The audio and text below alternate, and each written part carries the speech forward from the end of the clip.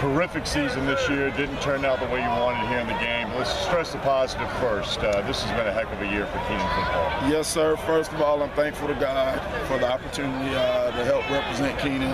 Um, I'm, I'm forever grateful to my coaching staff, forever grateful to the young men that uh, played for us this year.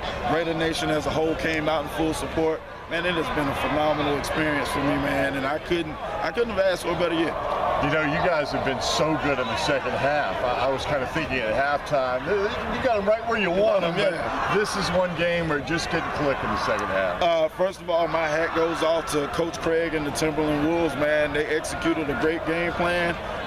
They capitalized on turnovers. They made plays when they made them, man, and uh, we just didn't make them in the second half like we normally do.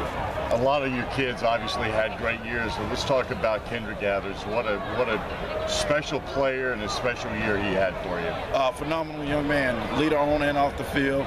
Um, does a lot of positive things, and he's a quiet, unspoken kind of guy, but he leads by example. Um, great guy tonight. Made some plays tonight that you know that that fake punt. That's one of the things that he does. You know, we gave him autonomy on that to call it, and he called it and made a great play. DeMarco's coming back for another year at quarterback. I know that's got to put a smile on your face. DeMarco Ziegler is one of those guys that you're going to smile about next year.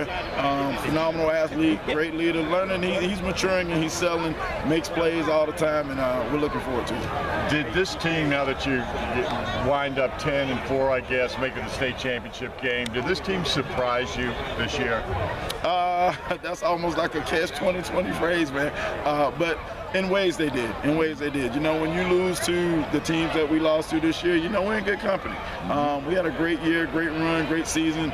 Um, athletically, you know, we did some things that I, I didn't think we were going to be able to accomplish, and we were able to come in here and you know stand toe to toe for at least a quarter with a great Timberland team, man. And I couldn't be more proud of the guys. Congratulations on a terrific season, and uh, I guess uh, take a little time, and then I, I know this one hurts, but uh, this will be one that will be special to you, I'm sure. It will be. Um, we'll, like I said before, we'll we'll go and we'll get away from it a little while, and then once we get back, you know, get back in January, we'll talk about what we need to do, what we need to revamp, and then go from there. It's gonna be fun watching you next year, Coach. Thanks, Thanks man. man. Appreciate right, it. All right, y'all have a good. Thanks.